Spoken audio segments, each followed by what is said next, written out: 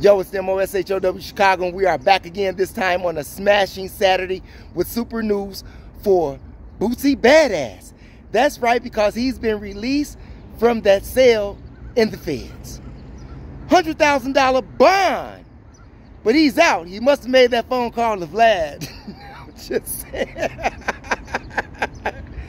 hey, man, you know they got you under scrutiny right now. They're going to be pressing your camp. Yeah without you even knowing. You won't even find out until after it has happened.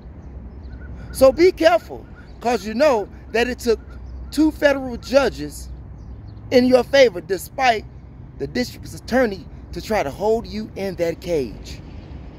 They didn't want to let you out. They probably made a bet to hang yourself, just like God and the devil made a bet on Job's life.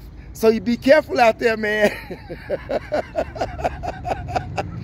I'm just saying, and for all you haters, he made it out. Just stay off YouTube for a while, man. Stay away from them guns, man. Stay away from the guns. That seems to be the problem here.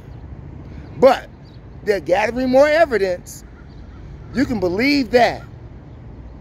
So enjoy your time while you're out on bond because you never know what the feds got in store for you. I'm just saying. Leave your comments in the comment section. I'm glad that Boosie out. What about you? If you're glad that Boosie's out, press 1. If you're glad that he's not out, press 0. It's your brother, the M-O-S-H-O-W Chicago, where knowledge is power. It is your third eye that makes you shine like jewelry. And if you haven't done so already, press that subscribe button below.